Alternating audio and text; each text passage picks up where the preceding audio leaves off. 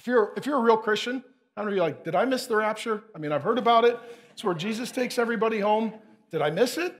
How many of you lately are like, are there any real Christians left? Does anybody believe the Bible? Like all of it? Why are churches not agreeing with God? Well, because false prophets took the pulpit, or they got on the board and then they took over the throne and then they hired a false prophet. Happens all the time. Elijah's feeling the way that many of you probably feel, and that is, I feel like we're losing and I'm the only one left.